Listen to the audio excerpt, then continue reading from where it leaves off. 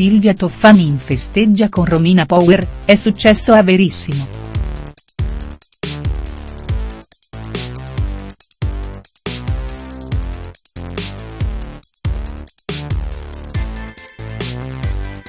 Romina Power a Verissimo parla di Albano.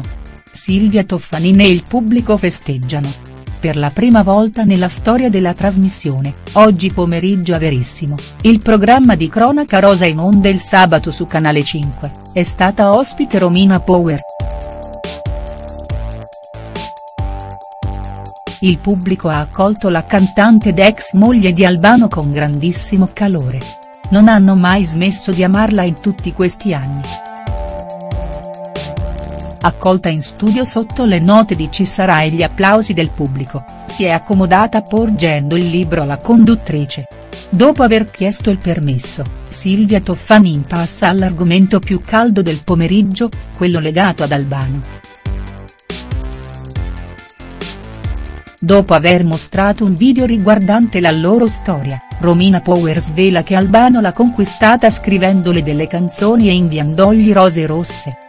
La cantante, parlando di Albano, si lascia andare ad alcune dichiarazioni molto forti. Lui mi ama ancora che ci vuoi fare e anche io lo amo ancora. E se tu vivi con una persona per 30 anni, rimane sempre quel collegamento, quell'amore resta sempre.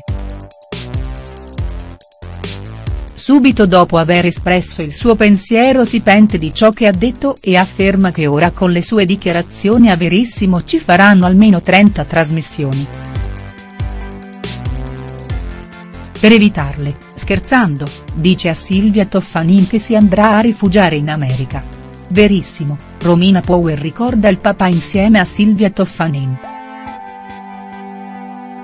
Silvia Toffanin vuole viaggiare con la macchina del tempo in questa intervista e così, dopo aver parlato di Albano e le dichiarazioni molto forti che ha voluto rilasciare Romina Power, riguardo al rapporto tra i due, fa partire un servizio dove si ripercorre la sua vita. Si inizia con il parlare del papà di Romina Power, lei lo ha perso troppo presto, a 7 anni, quando il papà ne aveva 44.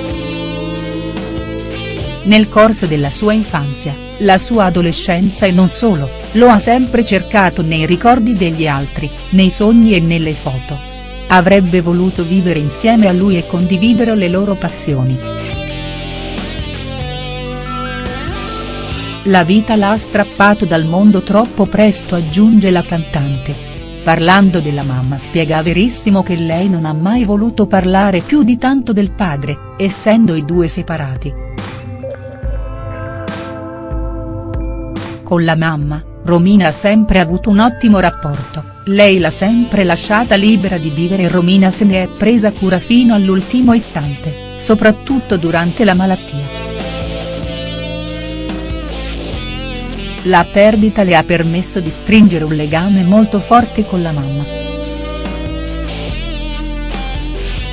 La cantante aggiunge che ora preferisce vivere in Italia anziché in America, specialmente da quando ha assunto il potere Donald Trump, il quale viene definito da quest'ultima il loro disastro.